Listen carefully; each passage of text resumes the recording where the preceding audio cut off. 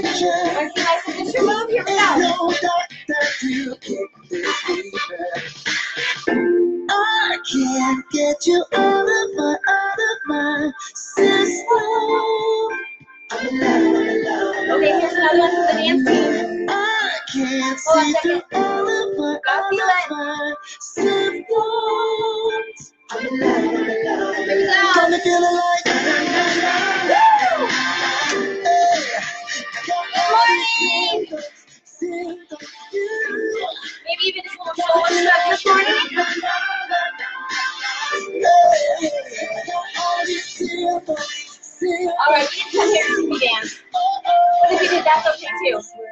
I, I'm grateful for that. Let's talk today. Cause I'm growing weak for you.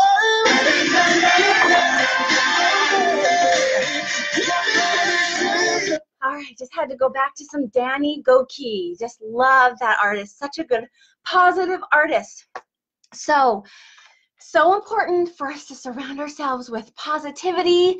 I can't tell you how many times because all I listen to now these days is things like this um, in the radio um, and um, on when I'm driving, um, when I'm cleaning, when I'm cooking for my family.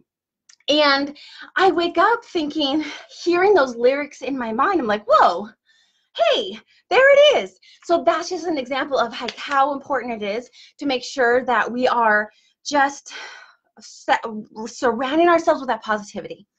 Okay, so let's talk today about shame. I feel ashamed that I cannot do this on my own. Shouldn't I be able to overcome this? Like, I feel ashamed that I need support. I feel ashamed that, gosh, I would like to have support. I just feel ashamed that I can't do this on my own. Oh, I so get that. Absolutely. So understand that, especially for so many who have um, done so many diets under the sun. So even though you might have been dieting for decades, trying to do this on your own for decades, we're going to talk a little bit about that. so before I jump into that, if you are interested in connecting with me, there's a couple of ways that you can connect with me. One is you could go to blissfullyhealthy.com and you could set up a free discovery session with me if you're interested in coaching, and we can dive in deeper about what's going on for you and see if support might be a good option. Another option is you could click the link here in the description, whether it's on YouTube or Facebook, and you can click the link and just learn more about the Jumpstart program, and it's just $97. I wanted to create an option for people who are just feeling like you know I I'm just not wanting to invest a, a, um, a good amount right now. I want to just give this thing a try, and so this will give you so much, and all the details are in that link. Okay, so let's talk about this. So shame is a learned behavior, and it is a brain state that so many of us learn, and it can be the subconscious. Um, subconscious way of being and living. And we really, really do want to um, just overcome that because that is one of the things that will keep you stuck. So, if you remember what we've talked about is when I have a belief, whether it's subconscious or conscious, that's going to create thoughts. Those thoughts that are going to be naturally create feelings and then those feelings are going to lead to our behaviors and those behaviors are going to prove to our results. So I, uh, this is part of my signature talk that I just love helping, and it's one of the biggest takeaways I would say that I hear over and over from people um, saying like that was so helpful, and it's a great example of emotional tools. Um, so that if you that's something you would like to have more access to um, just feel free to send me a message and i can send you a little bit of a video on it and then also an image of what this all looks like. But okay so I have a belief. Let's say, oh, I've tried so many different things but before in the past. I just feel ashamed. Like I should be able to do this on my own. I mean, look at all these other people who don't have challenges around food. Like I feel ashamed. I feel shameful that I just can't do this on my own. Like I should be able to get get my act together. Everything else in life I can have together. So the belief is that I should be able to do this on my own and then the thoughts are all those other things right? So comment below on like how does that make you feel when you hear those thoughts? And i'm going to say them again. So comment below. I'd love to see some comments.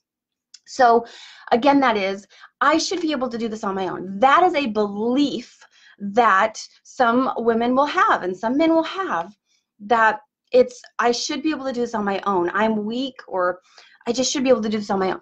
Belief now that leads to thoughts. Thoughts happen so quickly, right? They happen so quickly. We have about, uh, I think experts say like 85,000 thoughts a day. And um, most of those are negative, especially for the clients I work with. A lot of that's very negative. So those thoughts might sound like, look at all the things I, have tried before, nothing has worked. Um, all these other people could just seem to be not having issues around food and weight, and like, why me? Why can't I just overcome this? There's something really wrong with me. Uh, so, how does that make you feel? Comment below things I hear when I share this in my signature talk are things like hopeless, helpless, more ashamed, um, just um, feeling depressed, negative, right? So those are the feelings. So then if I'm feeling that way, the next part of the cycle is then going to be my behavior. So then if I'm feeling depressed, and shameful. Like I should be able to do this on my own. Why can't I do this on my own? Look at how many things I've tried. And now I'm feeling hopeless and ashamed. The behavior. What's the behavior that's most likely to happen? And I see some comments coming in. Thanks, guys. Yes, absolutely. Exactly. Um, the behavior, if I'm an emotional eater and I don't have emotional tools to navigate through all those feelings of despair and shame, oh, just give me some food to numb that out, please and it becomes this automatic brain pathway. So some of it can be conscious, but the other part, it's just a huge hankering. And it literally feels like, get out of my way, just give me the food, like beeline for the food, right? And I'm going to do whatever I can to get to it. Or it becomes just like Pavlov's dogs, where this craving just becomes really intense. And so then I emotionally eat, let's say. And then that proves those creates role, results. So those results might be I emotionally ate again, I failed again, um, I gained weight, I can't stay on track with healthy eating, things like that. And that result proves back to the belief, right? That proves back to the belief that, see, I, I can't do this. Like, why is I should be able to do this on my own, but I can't. so it proves back to I'm hopeless, I'm a failure. So this is the cycle we want to get out of.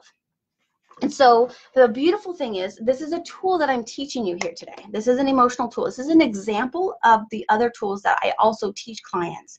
This is why it has to start with the mindset. Like we can focus on the food, absolutely. We can do that. We can focus on the weight, absolutely, and moving your body, absolutely. And those things are important. The Eating healthy, yes, are important. Moving your body, yes, are important. And we do talk about those in Blissfully Healthy Land. But none of that, none of that is going to stick if we have a shame mindset.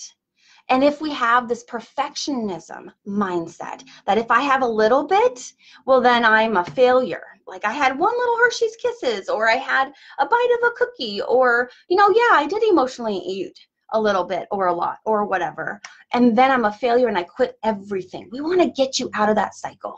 So let's take the same example. Let's just say okay, like I should be able to do this on my own. Ugh, why can't I do this on my own? I should be able to do this on my own. I feel ashamed that I, I might need support with this. Okay, let's choose some new thoughts. We can't simply just change our beliefs from, you know, I should be able to do this on my own and I'm hopeless and I'm a failure and I'm worthless. We're not going to be able to just change our beliefs from that to I'm amazing and wonderful and I'm a beautiful just as I am and I love myself and I'm worthy. that would be amazing and great. And that's where we want to get to, but it doesn't just happen like that. We actually have to create new supporting evidence to have that new belief stand upon. And so I want to invite you to look for new supporting evidence that it is okay to have support if you really feel like you need it, absolutely, and that you can do this. So we're going to take that same belief. I feel ashamed that I can't do this on my own. I should be able to do this on my own. Look at all these other people. Okay, pause. Whoop. Stop. Time out. Time out. Okay, let's get present.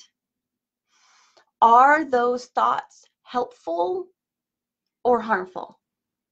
If they're not helpful, let's flip them. And I'm snapping a lot today. I'm a little sassy. so let's choose instead that we're going to say, okay, yeah, all those other things that I might have tried before, they haven't worked, but I have not looked at the emotional side. I haven't looked at the mindset stuff. I haven't looked at a behavior change and really looking at that emotional piece. Or how about choosing thoughts like, you know, if somebody has if somebody has a challenge around spending, they're going to look for some resources to help them with that. Or if somebody has a challenge with um, you know, fatigue, they're going to go to the doctor and want to get some support with that. It's okay to have support. It's normal. Everybody needs support. And in fact, the emotional brain needs connection, especially around those things that we feel ashamed about. And what we want to do is shine a light on that. So if you're starting to think thoughts like that, I love to hear from you. Comment below. How do those thoughts make you feel? Again, those thoughts are it's okay to have support. Everybody needs support at some time in life, whatever that support looks like. I've tried things on my own. It's all right. Let me just go ahead and get some more information. How do those thoughts make you feel? It's okay to have support. Everybody needs support at some time in life. It's all right. Every, it is okay. I'm worthy of that. So then if you have thoughts like, okay, more hopeful, maybe they're more helpful, maybe you're feeling more positive, right? Then what's most likely then? The behavior that might follow. Maybe I'm going to choose some healthier foods. Maybe I won't have as intense cravings. That literally does happen. Maybe the cravings go away because I'm not in that shame spiral. That shame spiral actually creates cravings because the brain has learned if I feel shame and horrible, I need food to numb it out and it keeps that cycle going. But if I start feeling positive, huh, you know, I lose interest in the food, I feel fulfilled in life, and the result is I'm emotionally eating less. Maybe I'm feeling happier. And then it proves back to the belief and it says, see, I told you I can do this. I'm worthy of having support. It's okay to have support. Everybody needs support. And you'll see how much better you feel and how much faster you're making progress by having that. So, all of that, your results prove your beliefs. And so, we want to start to intercept this process at the thoughts. Okay, so today, get present. Yesterday, we talked about the or and the and, and choosing to have an and. And so today, this is one of those tools that you can simply add in and get present with to start to notice where it is that you might be having some negative thoughts and behaviors and give yourself permission, love, that it is okay to have support. If you need support, it is okay. Whether it's watching my YouTube videos, plugging in here in the Facebook Lives, whether it's being in the free group that I offer, and or reaching out for support elsewhere um, you know, it's okay that you need support. It is okay. You are worthy of that. You are worthy of having whatever support you need to be the happiest, healthiest version of you. You are not here on this earth to feel miserable in your body and ashamed about your behavior around food and about your weight. It is okay. And there is a way out. It just means that we need to do something different. We need to do something different, and this is different. And I hope that gives you some hope. So as we end our time together, I really want to invite you to share this. If this really spoke to you, please share it or any of my other videos, please share it and help get the word out that there is hope for healing emotional eating. There is freedom. We just need to go about it another way. And another diet is not going to heal emotional eating because it is a mindset and emotional thing. So my, I just want to be a light. I want to be a light for others. And I remember being in the depths of this and feeling lost and alone. And I don't want that for you. And there's so many people out there struggling with this as I was, and they're suffering in silence. So if you feel inspired by this, I really want to invite invite you to share it, like it, um, and just help spread the word that freedom is possible and there is an answer. Don't, people do not have to remain stuck. So I hope that this video is helpful for you and I just want to invite you to stop dieting. So say it with me. You are invited to stop dieting and start living because a blissfully healthy lifestyle does not have an expiration date. And you, you are truly, truly worth it. I'll look forward to seeing you again tomorrow morning at 7.30 a.m. Right, bye-bye.